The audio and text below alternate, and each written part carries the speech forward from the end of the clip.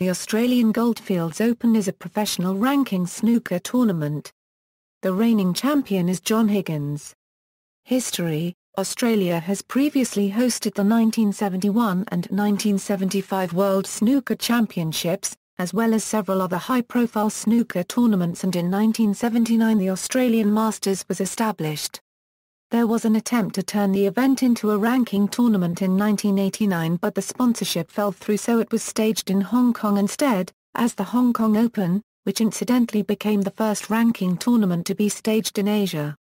The Hong Kong event was discontinued after just one year, but returned to Australia in 1994 as the Australian Open. The tournament reverted to being called the Australian Masters for the following season, but was dropped from the calendar after the 1995 event.